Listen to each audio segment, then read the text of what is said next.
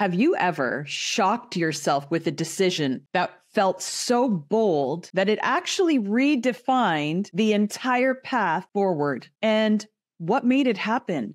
What made you decide to make that shocking decision for yourself, for your life, for your business? Hi, everyone. I'm Katharine Loucaidou, your host of Mindset Medicine, and thank you for tuning in again. If you like what you hear, if you want to share this episode, I would be so grateful.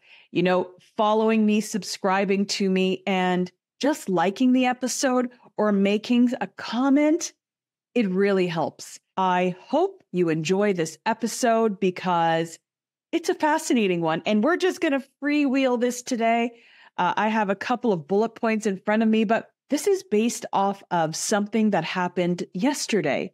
And I thought that this might resonate with you as well. So let's dive right in. Let, let's go into the realm of fearless change making, fearless decision making, trusting your intuition, having clarity for your future, and just diving in to the art of embracing a decision that actually feels really good when you make it in the moment. And this all sounds so cryptic, doesn't it? But uh, let me tell you, it's actually pretty interesting. So let's start this off first. Before I even get into my story with you, um, the allure of familiarity.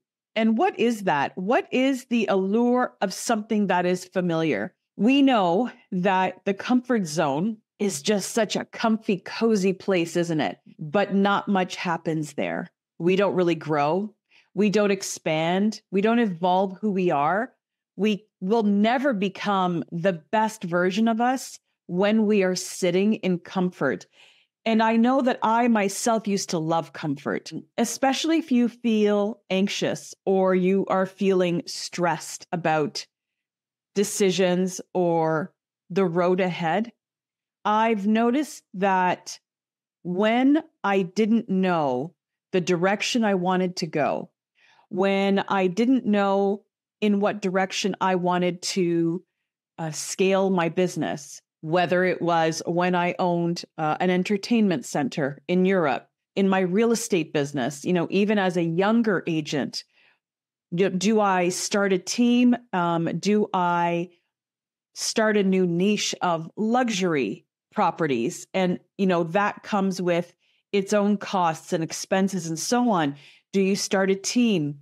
And then when i moved to the next you know the next stage and i said well do i open a brokerage? You know is that is that what i want to do? Is that what i feel drawn to?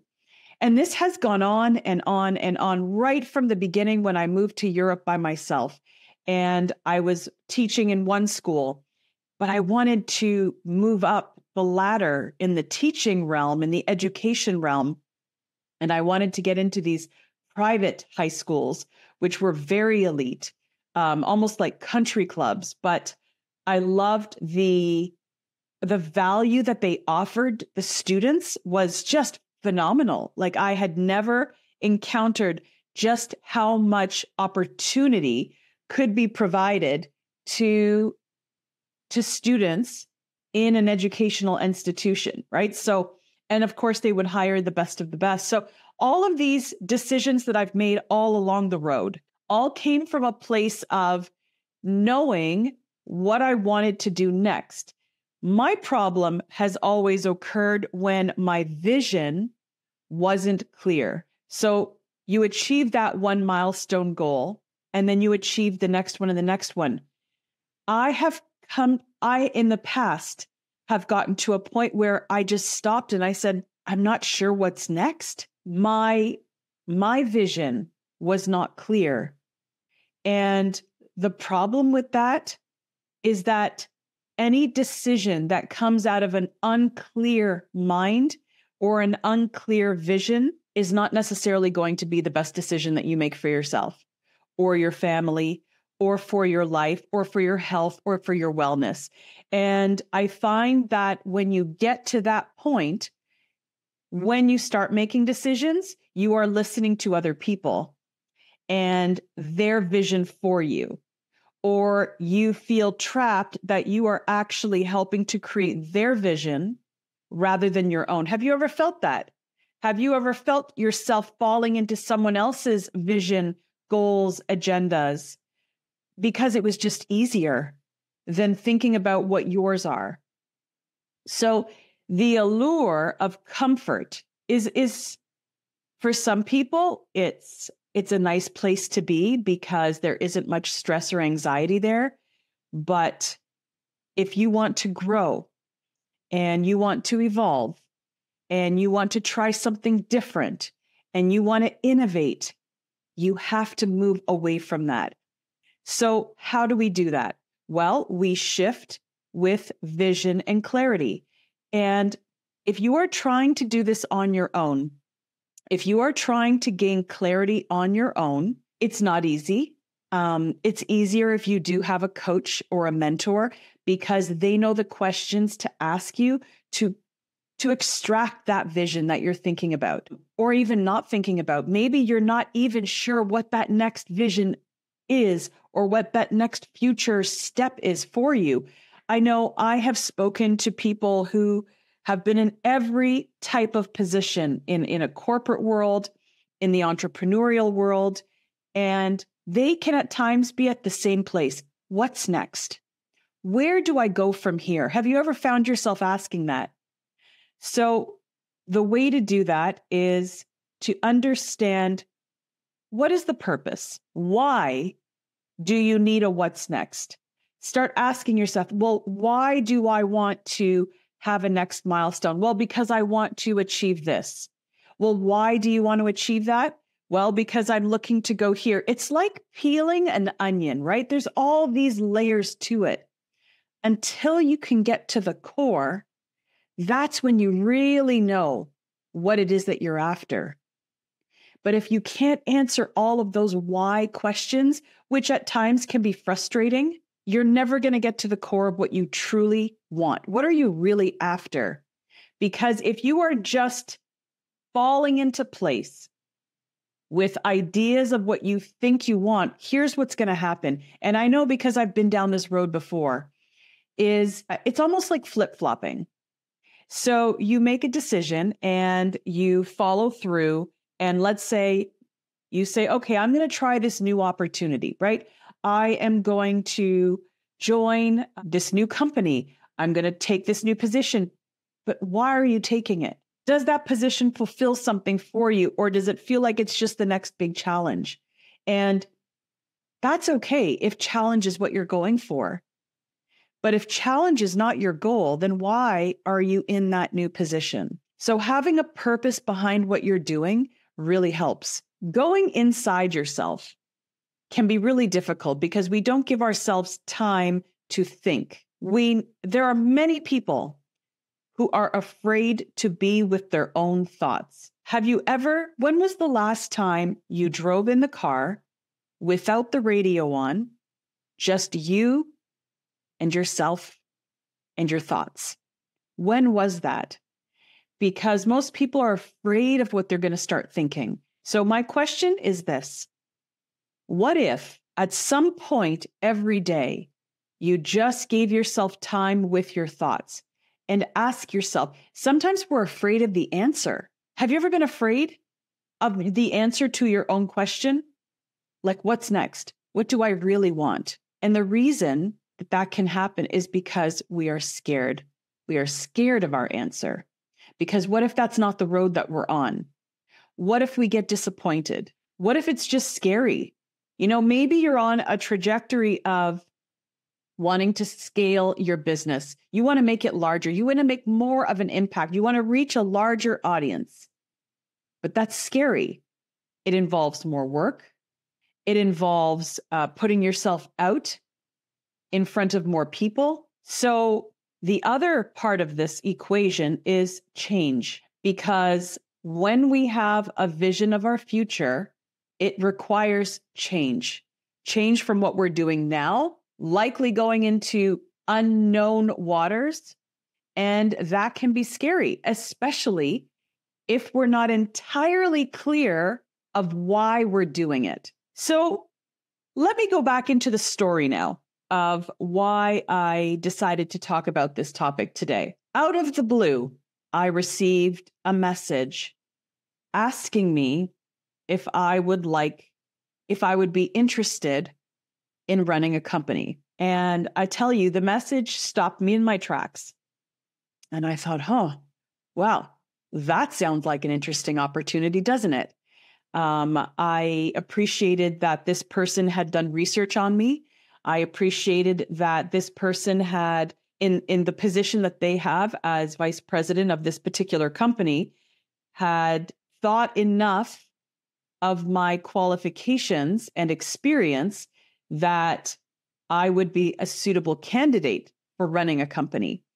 So I arranged to have a call with this person because I'm always open to opportunity. I am open to just see what's out there.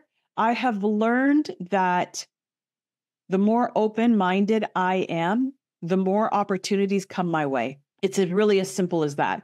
And I do this in all aspects of my life. So I'll do it for wellness. I'll do it for my health. I always research, right? They're, they're always educated. Uh, I use my intuition, but I also rely on research. And um, I don't typically ask people's opinions, though. I'll tell you why. Because unless you have been where I want to go, I'm not sure if you can understand how I'm feeling and and what my goals are if that makes sense to you. So I had this call, and this is where the title of this podcast comes in today um, Are Shocking Decisions the Secret of Life? The man I was speaking to was so pleasant, such a professional. He asked such great questions. And what's interesting is he asked me if I was interested right at the beginning of the conversation, like there was no small talk. It was, you know, a little bit of, hey, how's it going? But it said, you know what, Katharine, I don't want to take up a lot of your time, but here's what I'd like to know Are you interested in this position? And I simply said, tell me a little bit more about it. And that's how I'll know if I am. And so he gave me some background information on the company, what their goals are, who they're looking for, you know, the right information that I was looking for. And uh, and he said, "So tell me, is this something that would interest you?" And I paused for a moment and my clarity of my vision forward of my future and what I am creating and where I want to be 5 years from now, which wasn't always very clear for me. It has become very clear to me over the last uh, I'd say year I've I've always known the direction, but now it's just really clear. So I said to him, I said, actually, no, I'm I'm not interested. And there was just silence on the phone. I mean, silence. He he just went quiet. I don't think he expected me to say that. And he said, Oh, well, well, that's interesting. Um, can you tell me more about that? Why wouldn't you be interested? So, you know, for me, I, I love talking to people. I really do because I get so much out of a conversation when there can be this really great, you know, discussion of ideas and thoughts and, and my insight. So I gave him insight into why this wouldn't be a position that I was interested in. And a lot had to do with uh, the information he gave me about the company, their goals, and what they were looking for. Because I have a lot of experience in uh, many different industries and in different positions. I gave him my my thoughts. I was very honest and I told him I'm a very honest, transparent person. So I am going to tell you what I think about this and why I think that it may not work in in the capacity that you're giving me this this scenario. And he very thoughtfully listened to everything and he was so quiet. I said um I said, "You know, you're you're really quiet. I I, I feel like I'm talking a lot." He said, I have been taking notes as you've been talking.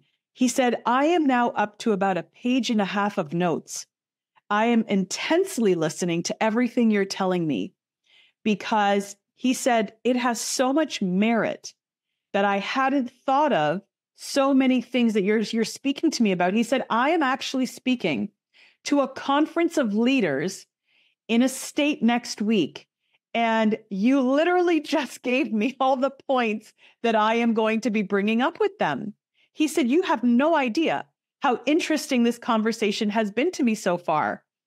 I loved, first of all, hearing that because I'm always very thoughtful when I am giving feedback. It's never emotional, it's not opinionated, it's just insightful from different experiences that I've had, good and bad, of course. So I said, Well, you know, um, I really do appreciate this opportunity. I just don't think it's the right one for me. And that's again the beauty of knowing what path you're on is that you don't feel bad. You don't feel like you've missed out on something because I'm so clear that that is definitely the direction that I do not want to go for that particular opportunity that he was presenting me. Now, here's where everything gets really interesting. We continued to talk for another 20 minutes about some of these insights that I had given him into the industry, into the people of the industry, into the mindset of the industry, and the the way that I I believe that the the way it should be going forward, right? This mindset, um, and I can and I can you know give you a little bit of information about what I was, what some of my ideas are. Is as we move forward, I do believe that there needs to be more community based, a, a more community based culture moving forward. We need to forget that and, and and stop branding people as employees or these are you know whatever they are they're agents they are salespeople they are and you know we brand. And i said i want i want us to understand that these are human beings. And human beings are both complicated and simple. Complicated because they have emotions but simple in the fact that they all really crave, you know, just one to three things in life, right? They want to be seen, they want to be heard, they want to be understood, and they want to feel appreciated. They also want to be a part of a group. They want to be feel like they are a part of something. And that something is typically very important to them. So I explained to him that I believe that this is the path forward when we are speaking about business and so on. So to carry on, you know, we finished our conversation and he said, Wow, I literally have two and a half pages of notes from you. He said, I am so glad that we've had this conversation today. It has been very helpful to me. And here's what I want to help you with. So then he proposed his connections.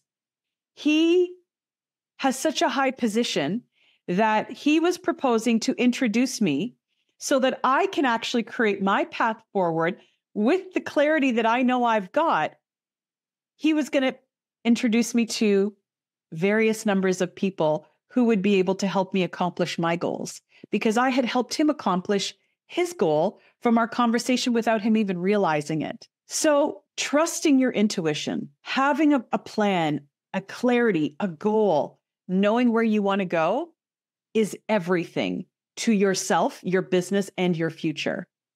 And knowing how to lead beyond today is important. I'm really excited about a course I am launching in May. And it is about creating a forward thinking leadership. How do we move beyond today? How do we think? How do we make decisions? How do we implement things into our business and our lives to help keep us on track? Because my ultimate goal for everyone is to truly live your best life, to run the best business that you can in the time that you have to do it. So, my question is this Are you committed to making decisions that are going to move you forward and really provide you this beautiful, big, beautiful, happy life? Are you committed to personal growth in shifting your mindset so that like this gentleman I was speaking to, you know, the conversation started one way, but once I started shifting the mindset of, you know, him coming into the call, but he left with a different idea. And that was so unexpected, but aren't the most beautiful things in life unexpected, right? When, you know, my course is going to be about taking people down that journey. It's 12 weeks, and we are going to dive into every single part of your business, including your health and your wellness. We are going to create a business plan for you. I'm going to help you get clarity on where you want to go, how you're going to get there, the tools, the systems that you can implement to get where you want to go, to move you from here to there faster than you normally would. And all this is just going to be in 12 weeks. And then you will be that story. You will be that person who can then impact the people around you by what can happen in just 12 weeks. How phenomenal is that? Like it it excites me that we can change a business, a life. We can change the trajectory of your future even in times that are tough. Even when the world feels like it's totally out of whack, we can still keep moving forward with our goals if we just know the right way to do it. If we just have that clarity, if we have that roadmap and we have the the dedication and commitment to want it because that's really important, right? You have to really want it. So, thank you for tuning in this week. Go to the links below, whether you're watching this on YouTube or you're listening to it in a podcast. If this program, this course that I'm going to be teaching for 12 weeks is intriguing to you, and you're like, huh, this sounds like something that I might be interested in, or I actually know someone who would really find this helpful. It is not industry specific. It is for any industry, any entrepreneur, any leader who just needs to get back on track. They just want a vision forward. You know what they want? They just want to know what's next. They want to figure out what is next. Where do I really want to go at this point in my life? We're going to solve all of that. So, thank you for tuning in. You can always message me on any social media platform. I am here for you. Have an amazing week ahead, and uh, the future is so bright. I hope you realize that. Bye for now.